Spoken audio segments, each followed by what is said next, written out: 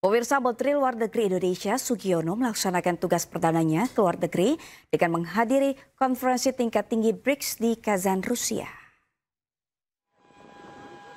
Menlu Sugiono tiba di Kazan, Rusia pada selasa malam waktu setempat untuk menghadiri KTT BRICS. Sesaat setelah turun dari pesawat dan menyapa sejumlah pejabat, Menlu Sugiono sempat mencicipi hidangan tradisional Rusia.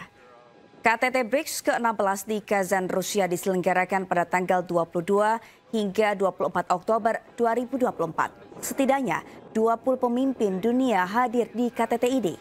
Kehadiran Sugiono di forum ini menegaskan komitmen Indonesia untuk terus berperan aktif dalam forum internasional dan memperkuat hubungan dengan seluruh negara, termasuk negara anggota BRICS yakni Brazil, Rusia, India, China, dan Afrika Selatan.